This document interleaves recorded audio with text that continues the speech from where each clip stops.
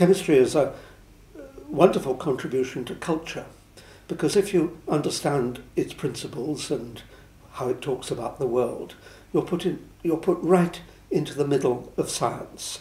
On the one hand, you can understand the physics that underlies chemistry.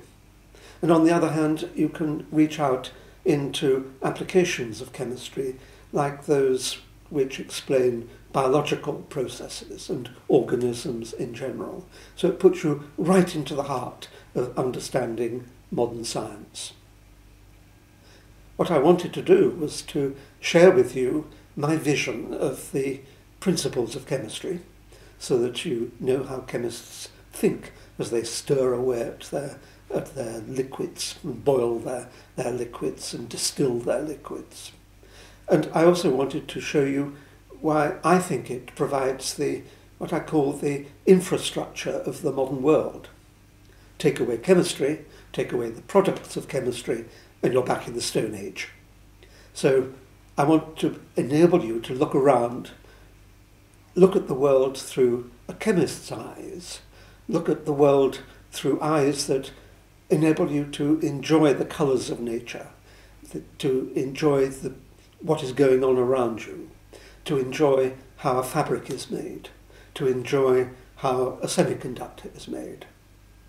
But I also don't conceal that chemistry brings out problems of pollution and environmental damage. And what I also try to do is to show you how we chemists are trying to avoid injuring the environment, finding ways of clearing up. And I leave it to you to judge whether we are providing you with material comforts, with insights into the workings of the world that outweigh some of the difficulties that at the same time I have to admit we, we introduce into the environment. But at the end of the book, which is a pretty short book and much shorter than any real chemistry textbook, so don't be afraid by, at, at opening it. And indeed, I avoid all those off-putting formulas and structures and so on, and just try to take you into my confidence and share with you my love of chemistry and, insofar as it goes, my understanding of chemistry. And I hope at the end of it, you'll, if you're one of those people who hated it, you will have changed your mind a little.